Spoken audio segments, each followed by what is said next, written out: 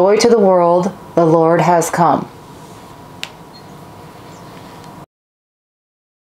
Hello, everyone. Merry Christmas. Brigid Ayer here with All About the Grace, and I'm so glad to be with you again. I want to say thank you to all my subscribers. I'm up to 300 now, or just about to 300.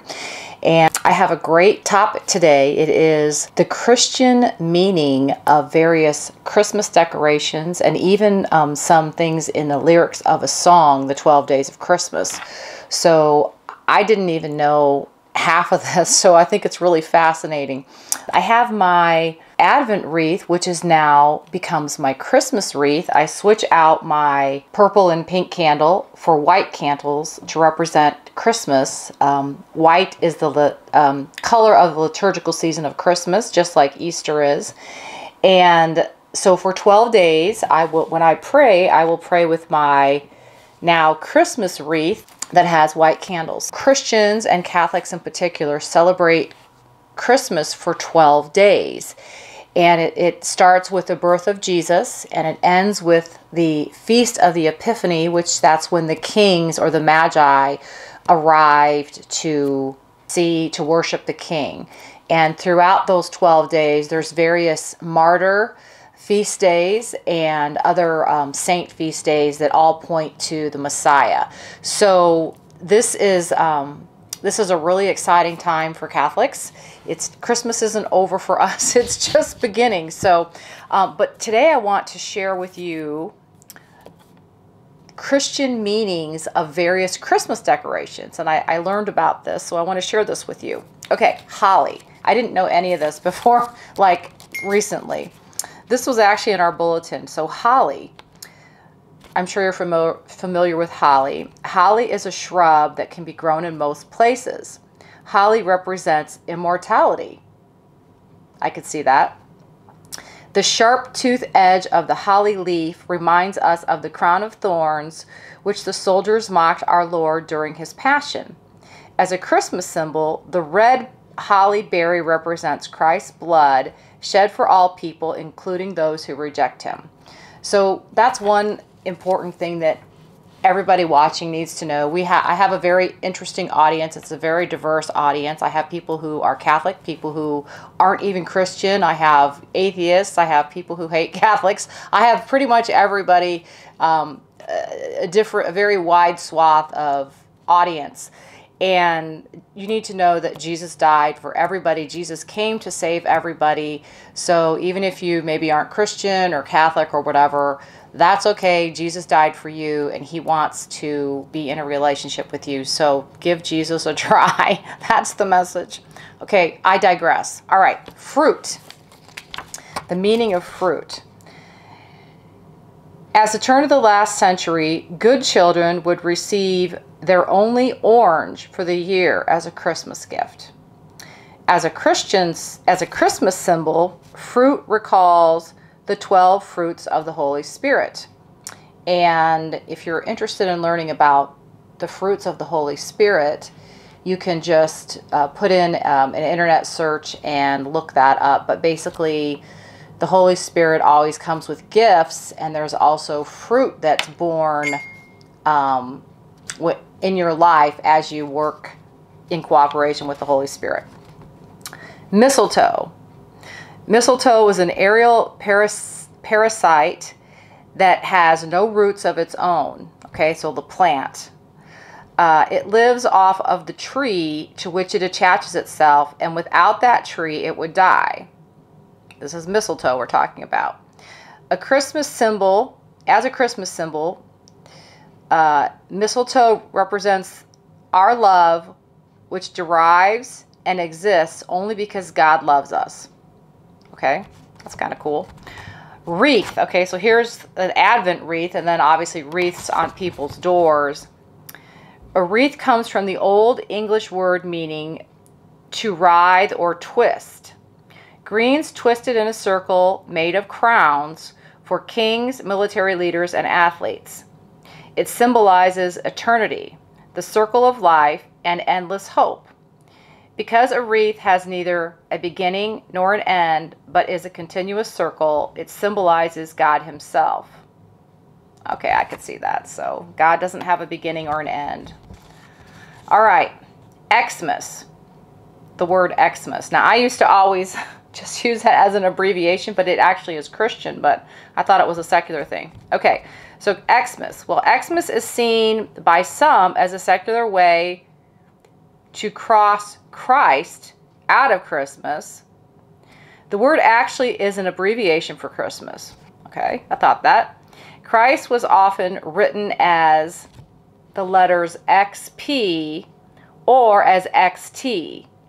And the Greek letter Chi-Rho stood out for Christ, stood for Christ, and in the ancient Greek, um, a symbol for Christians. So that's some of the um, that's some of the decoration meanings for Christian meanings.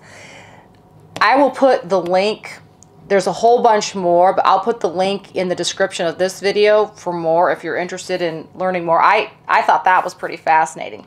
I wanted to share one other thing with you, which I also thought was pretty interesting. When I was looking up just to confirm the 12 days of Christmas, the beginning and end, I, I learned about the origin of the song, The 12 Days of Christmas. I did not know this. Uh, so, Catholics in England, so this the song 12 Days of Christmas originated in England. And Catholics in England during the period of 1558 to 1829, it was illegal to be Catholic in England. And you were prohibited, the law prohibited you from practicing the practice, any practice of your faith by law, either in private or public. Um, it was a crime to be Catholic. So the 12 Days of Christmas was actually a song that was taught, a covert song that was taught to teach children about the Catholic faith, to pass it on. It was a catechism tool. I had no, I did not know this. And um, so it was also a way to, it was a way to pass on the faith in a way that if you were found with the song, it wasn't obvious that it was Christian. So that people, it was a way for people to pass on the faith without getting caught having any written materials that would show that they were a Catholic. So, um, let me see here.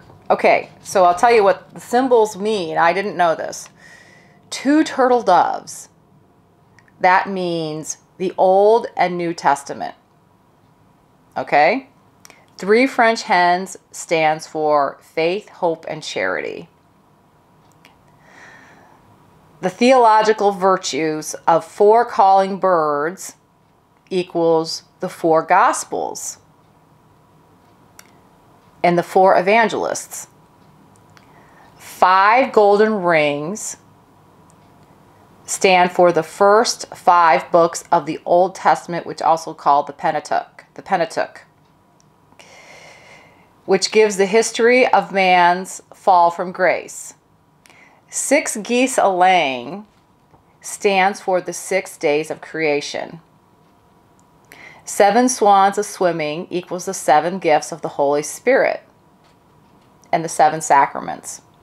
This is like so cool. Eight maids a milking equals the eight beatitudes.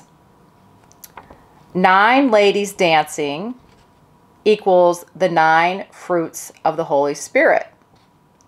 Ten lords a leaping equals the Ten Commandments. Eleven pipers piping equals the eleven faithful apostles. And twelve drummers drumming equals the 12 points of the doctrine of the Apostles' Creed. That is super cool. Anyway, I will put the link to this article. It was written by Father Hal Stockert. Uh, I will I will post this full article and then the resources also to the other Christian symbols. There's a link for that. Um, if you haven't gotten a copy of my new book, this uh, I published um, in January of 2020, And boy, has 2020 been one wild year. Not a good one necessarily, but I guess uh, I'll be doing a video on what I learned in 2020 with the pandemic. But this book is really um, on discipleship using new media is really a way, a tool for you to take your evangelization into the digital world. And a lot of people are spending a lot of time in the digital world. We all do, some more than others. But it's a way for us to reach out to other people using these various digital platforms and digital media. So you can get that book on my website, which is um, allaboutthegrace.com.